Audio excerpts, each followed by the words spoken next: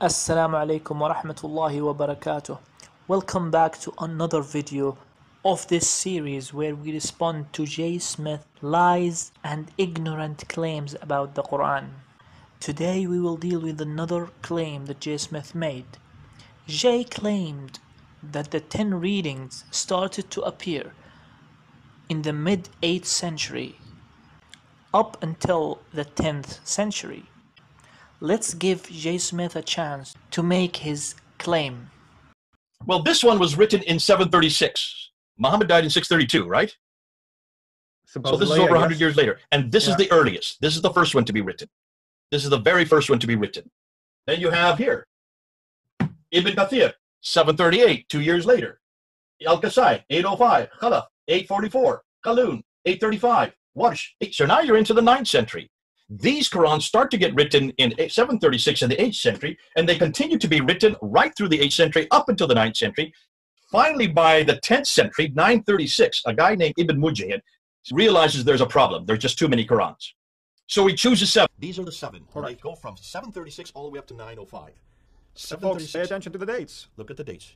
You know, He names these seven. All of them, all of them are from the eighth and ninth century. Not one of them's from the seventh century. Who are These are the seven who are from the 8th century. None of them are from the 7th century. They all begin to appear about 100 years after Muhammad. Every one of these is from somebody in the 8th and 9th century.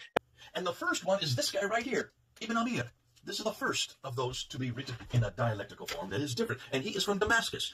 And his date is 736. This is the next century. This is right well into the next century. And all these other ones, the 30 that we that are made official, they go all the way up until 912, the 10th century. So from the 8th century up until the 10th century. And those are known as the seven holy Qurans. But they don't even get written down till 736, and they go continue all the way up until 805. So that's the that's the 9th century. Anyone listening to this guy and listening to the dates and how far these readers were from Prophet Muhammad will be extremely shocked. He exposed the holes in the narrative. This guy is a genius. He completely destroyed the Quran, right? Well, no. As usual, a closer investigation at this claim will prove how ridiculous it is. So what are these dates this guy is talking about? Let's take a look at this table. Here we have the dates that Jay Smith was talking about. And as you can see, according to this table, these readers are too far from the time the Prophet Muhammad lived. The earliest one is Ibn Amr, 104 years after Prophet Muhammad. That's a very long time. Jay definitely has a point here. However, if you pay attention to the dates mentioned in this table, these are nothing but the dates of the death of the readers. So Jay kind of assumed that all of these readers started to read the Quran only in the very last year of their lives. This is how ridiculous the claim is. For example, let's take Ibn Amr.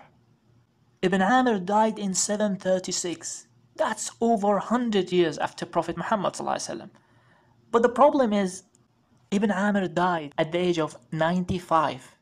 So to go to the date of his death is to assume that he spent 94 years doing nothing until the last year of his life when he decided to read the Quran. Now, let me show you with a real example how stupid this can be. In this table, we have a list of companions of Prophet Muhammad. They are Anas ibn Malik, the servant of Prophet Muhammad, Abdullah ibn Abbas, his cousin, Abdullah ibn Umar, the son of his closest companion, Umar ibn al-Khattab, Aisha bint Abi Bakr, his wife, and Asma bint Abi Bakr, the daughter of Abu Bakr and Aisha's older sister. If we apply Jay Smith hilarious standard, then none of these people actually met Prophet Muhammad. Their time is too far from the Prophet's life. I mean, Anas ibn Malik died in 709. That's almost 80 years after Prophet Muhammad. So Anas ibn Malik never met Prophet Muhammad. Prophet died in 632. Abdullah ibn Abbas died in 687.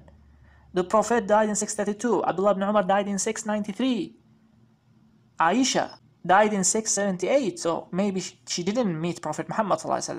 Then her older sister, Asma, died in 692. That's a good 60 years after Prophet Muhammad. And also, think about it. If you take the date they die, then it seems like Aisha is earlier than Asma.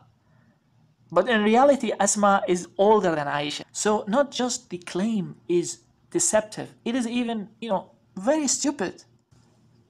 And let's play the same game. If you are going to go for the date of death, let's go to the date of birth.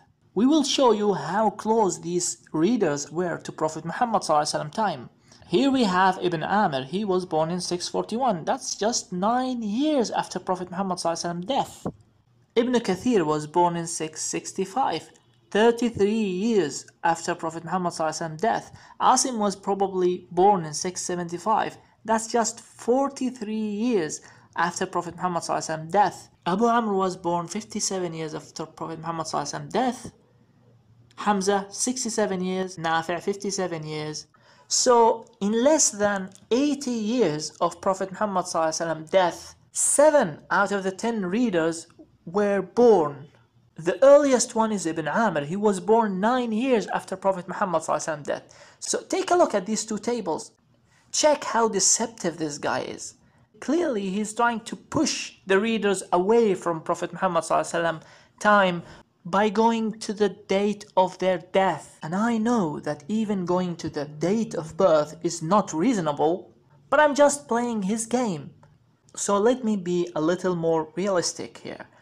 I will take the date they become 7 years old because we have children start to learn the Quran at the age of 5, at the age of 6, at the age of 7. So let's say at worst these people started to learn the Quran when they were 7 years old. Let's begin. Ibn Amr became 7 years old in 648. That's just 16 years after Prophet Muhammad's death. Abu Ja'far became 7 years old in 662. That's just 27 years after the Prophet's death. Ibn Kathir, 672, 40 years after Prophet's death. Asim, 682, 50 years after the Prophet's death. Nafi', he became 7 years old 64 years after the Prophet's death. Abu Amr, again 64 years after the Prophet's death. Hamza, 74 years after the Prophet's death. In less than 100 years after the Prophet Muhammad's death, 7 out of the 10 readers reached the age 7. So even in a realistic scenario, these readers were not too far from Prophet Muhammad's time. They started to learn the Quran from 16 to 74 years after the Prophet's death. So we've refuted Jay, right? Is that the end of the video? Well, no. Let me completely bury his stupid claim. Jay is trying to fool his gullible followers. These readers must be close to Prophet Muhammad and if they are not close to Prophet Muhammad then he exposed the holes in the narrative and he won the argument, right? Wrong. First of all, we have just shown that the readers are not far from Prophet Muhammad but it's not just Prophet Muhammad that we have to check how close the readers were to him. There are other figures who are relevant here. Uthman ibn Affan, the man who compiled the Uthmanic Mus'haf that we are reading today. We should also see how close the readers to the time of Uthman. Ali ibn Abi Talib, the fourth and last guided caliph, and the cousin of Prophet Muhammad and one of the main reciters of Quran among the Sahaba. Also, we have the four members of the committee that Uthman assigned to write the Quran. These are Zayd ibn Thabit, Sa'd ibn al-As, Abdullah ibn Zubayr, and Al-Harith ibn Hisham. It is very important to see how far the readers are from these figures. Because after Prophet Muhammad these were the main figures who were responsible for the compilation of the Quran.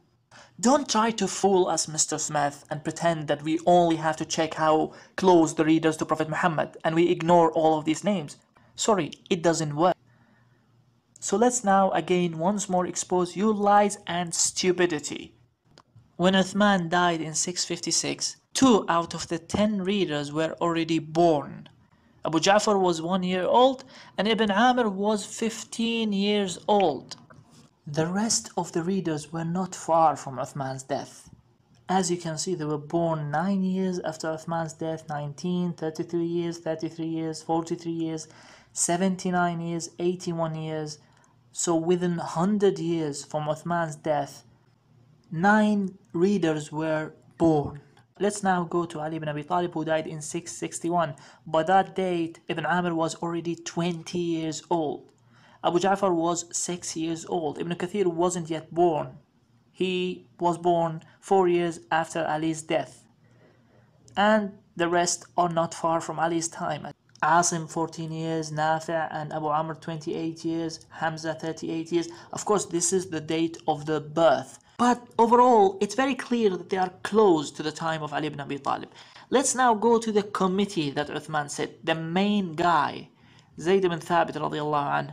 Zayd ibn Thabit died in 665. By that time, Ibn Amr was already 24 years old, Abu Ja'far was 10 years old, Ibn Kathir was born, he was just one year old. And the rest of the readers are again not very far from Zayd. Now we will go to the second man in the committee, Sa'id ibn al-As, who died in 672. By that time, Ibn Amr was 31 years old. Abu Ja'far was 17 years old. Ibn Kathir was 7 years old. And you can check the rest of the readers. Then we go to Abdullah ibn Zubayr, who died in 692. Ibn Amir was 51 years old when Ibn Zubayr died. Abu Ja'far was 37 years old. Ibn Kathir 27 years old. Asim was born, he was 17 years old when Ibn Zubayr died. Nafi' was 3 years old. Abu Amr was 3 years old. So by the time Abdullah ibn Zubayr was died or killed, he was killed by Al-Hajjaj.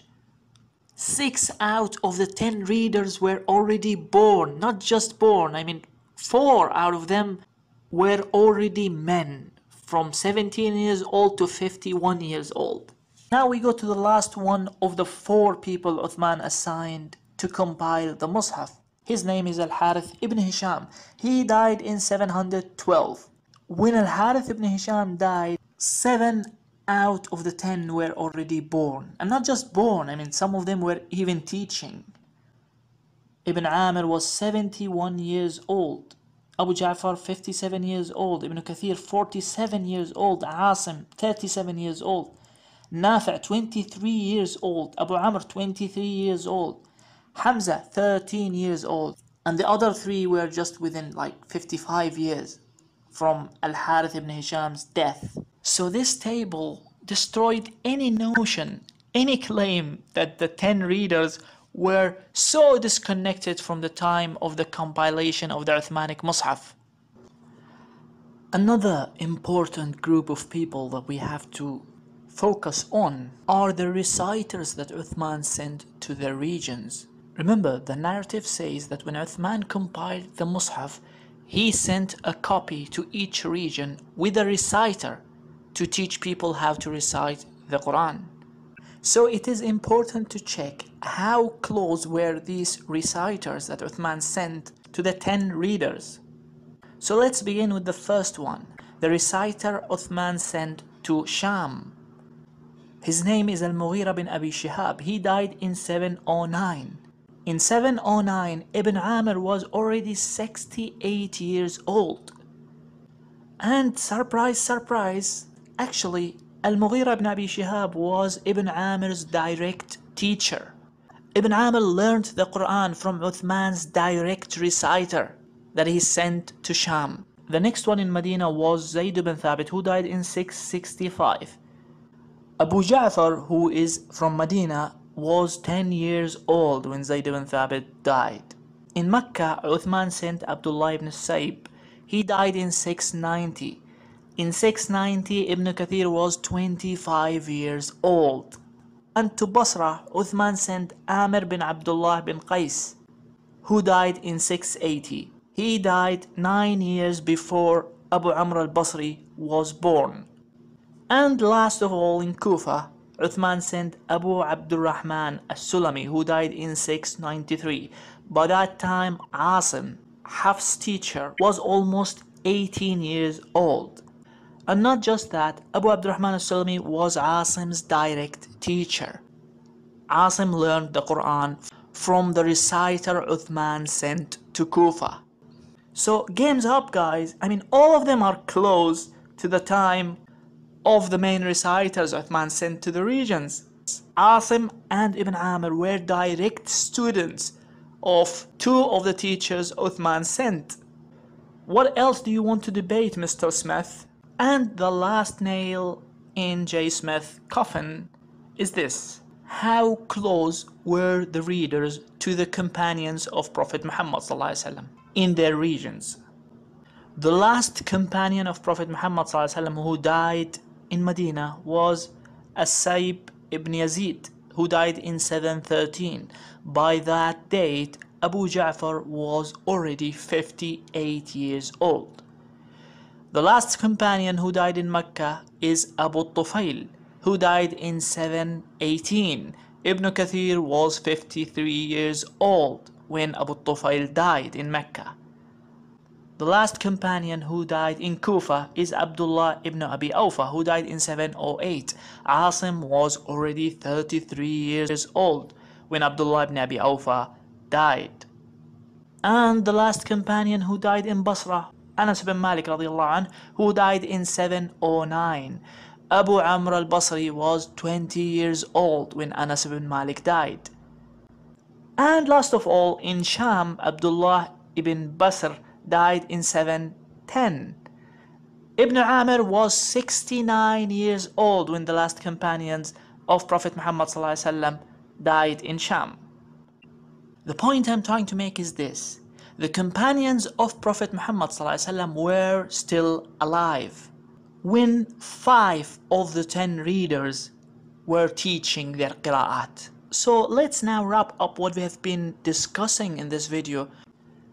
The ten readers were not so far from Prophet Muhammad's time. The ten readers were very close to the time of the people who compiled the Mus'haf. Some of them were even living and teaching when those people were alive. The ten readers were very close to the time of the reciters that Uthman sent to the region. Some of them were even direct students of those teachers. And the ten readers were very close to the time of the companions of Prophet Muhammad but Jay Smith wants us to ignore all of this and just focus on two factors. The date Prophet Muhammad died and the date those readers died in order to push them away from the time of Prophet Muhammad and this is the definition of deception, disingenuousness and stupidity. It also shows how low Jay views his followers. He views them as some group of morons who would eat up any lies that he throws around. And we are there to show you what kind of a liar he is. In next video inshallah I will show you what happened when I confronted Jay with this information.